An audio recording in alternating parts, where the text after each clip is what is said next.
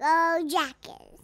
Good afternoon, all, and welcome to Wreck Talk. So, some kind of, I guess, bittersweet news. Now, it's not a done deal yet, but it appears that Jason Semore, Coach Boogie, um, will be taking the defensive coordinator position at Marshall.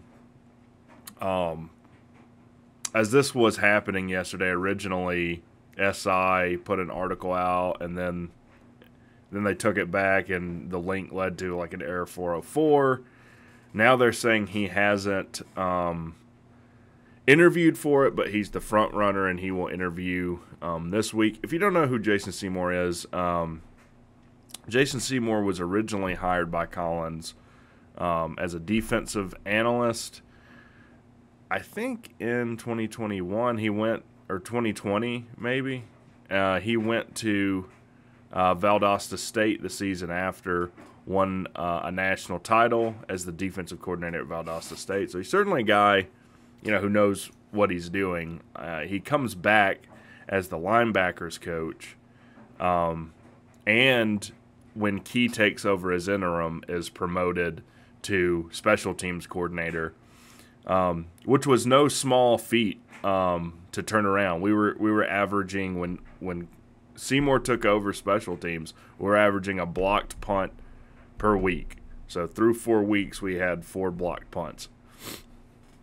Um, now we certainly had snafus in special teams. You know, Duke nearly took one back on us, or might have. Virginia Tech, I know, did take a punt back on us, but we didn't have one blocked.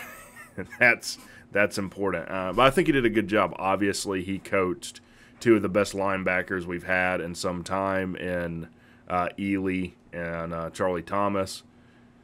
Uh, was in the running uh, for the was it on three or foot it was football scoop linebacker coach of the year.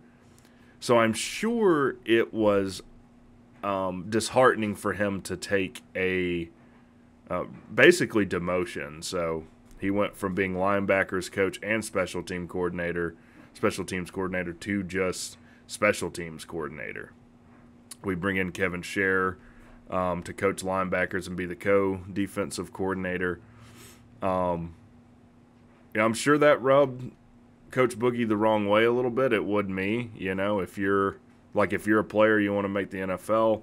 Um, if you're a coach, you want to progress to becoming a head coach. I'm sure. So, taking a step back is not um, preferable.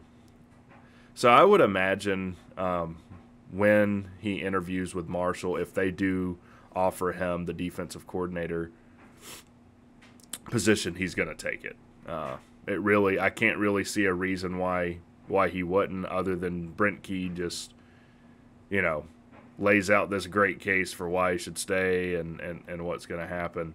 Um, but yeah, I mean, I hate to see Coach Boogie go.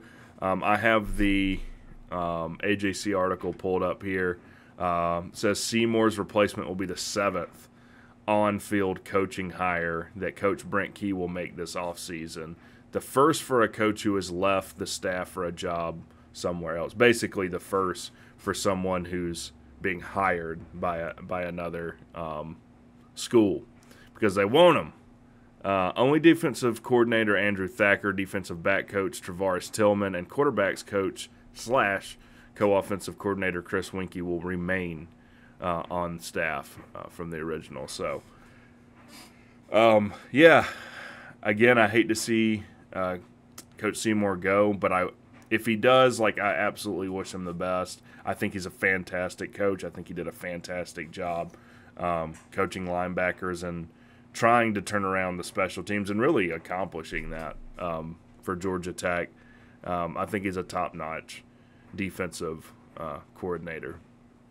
Probably a better hire than Alabama made. Like, Alabama hired Miami's defensive coordinator.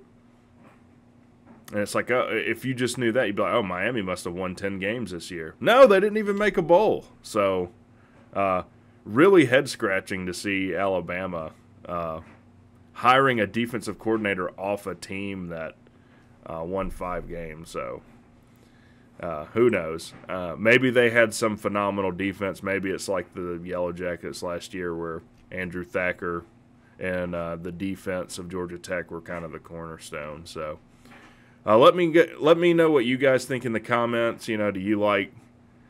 Um, do you think this is a loss for Georgia Tech? Um, do you think we made the right decision um, bringing in Kevin Sherrer and, and basically letting um, Semore walk?